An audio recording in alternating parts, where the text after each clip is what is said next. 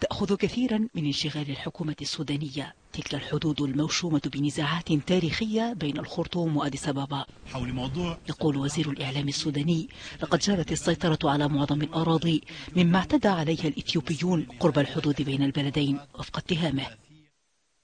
ما علت ألسنة نيرانه في إقليم تيغراي قبل نحو شهر ونزوح آلاف اللاجئين إلى الشرق السوداني عض على جراح الحدود القديمة التي رتقت بخيوط متجددة. كان آخرها في العام 2002 يأتي النزاع هذه المرة على أراض زراعية في الفجقة أكثر بقاع العالم خصوبة كما يحكى عنها. يستغلها إثيوبيون منذ أمد بعيد. وصلت النزاعات المسلحة إليها بين القوات السودانية والإثيوبية في الأسابيع الأخيرة.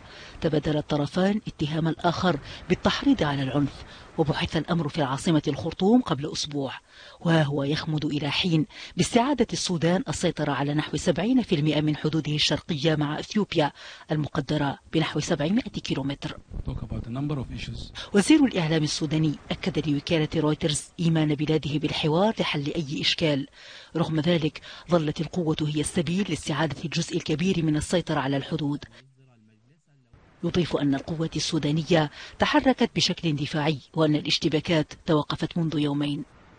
لا تنظر الخرطوم لمهاجم حدودها إلا بكبير ريب.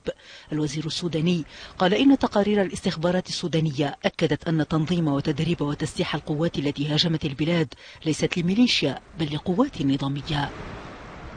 ما يمثل اتهاما صريحا لأديس أبابا بالعزف على وتر أمن الخرطوم المحسوبة على خصومها في ملف سد النهضة.